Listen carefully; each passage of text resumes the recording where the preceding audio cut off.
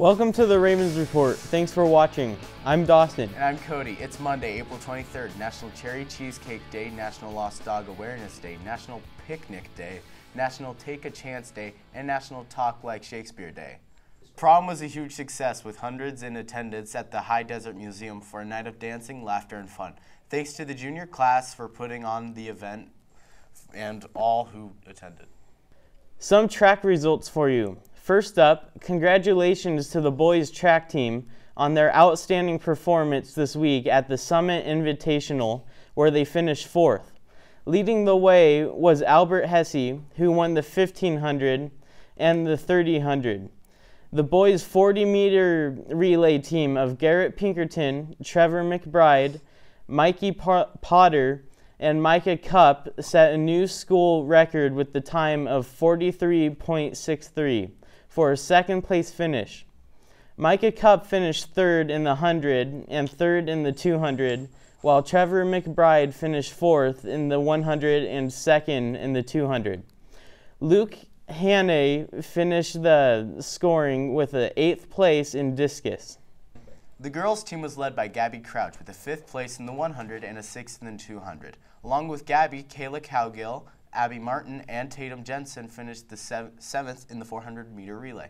Riley Troutman finished the team scoring with the personal best in the javelin for sixth place. Nice job, Ravens. Attention volleyball players. Don't forget there is a parent meeting tomorrow, Tuesday, April 24th at 6:30 in the skybox. Be there. Are you interested in singing the national anthem at graduation? Auditions will be Tuesday, May 1st at 2:30 p.m. in the choir room. Sign-ups are in the choir room. Are you currently interested in the field of early childhood education or working with children? Maybe you should attend the Professional Learning Conference at COCC on April 27th and 28th.